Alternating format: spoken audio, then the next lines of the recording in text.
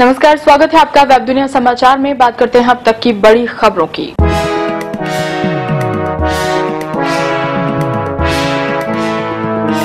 गुजरात में घुसे 10 पाकिस्तानी आतंकवादियों में से तीन ढेर।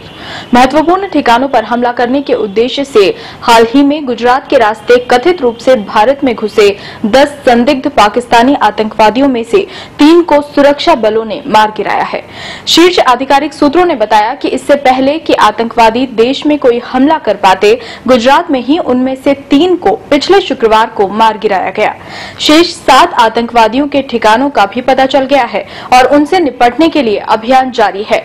उन्होंने बताया कि संदिग्ध पाकिस्तानी आतंकवादियों के इस समूह, जिसमें लश्कर ए तैयबा और जैश ए मोहम्मद समूह के उग्रवादियों के होने की आशंका है, ने महाशिवरात्रि 7 मार्च को गुजरात स्थित सोमनाथ मंदिर और अन्य स्थानों पर हमला करने की योजना बनाई थी।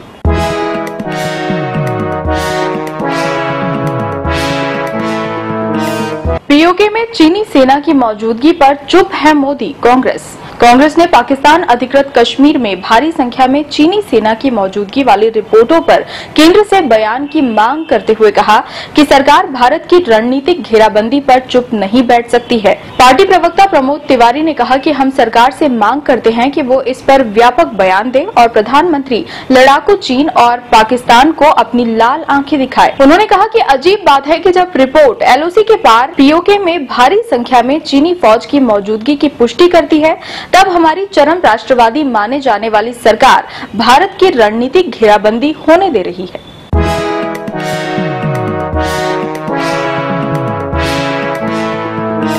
कीवियों की फिरकी में फंसा भारत, सैतालीस रनों की करारी हार। अपने स्पिनरों के सहारे धीमी पिच पर न्यूजीलैंड को फतह करने की भारतीय रणनीति मंगलवार को यह उसी पर भारी पड़ गई और तीन स्पिनर्स के साथ उतरी कीवी टीम ने कम स्कोर वाले मैच में सैतालीस रन से जीत दर्ज करके आईसीसी विश्व टी ट्वेंटी चैंपियनशिप में अपने अभियान की जोरदार शुरुआत की।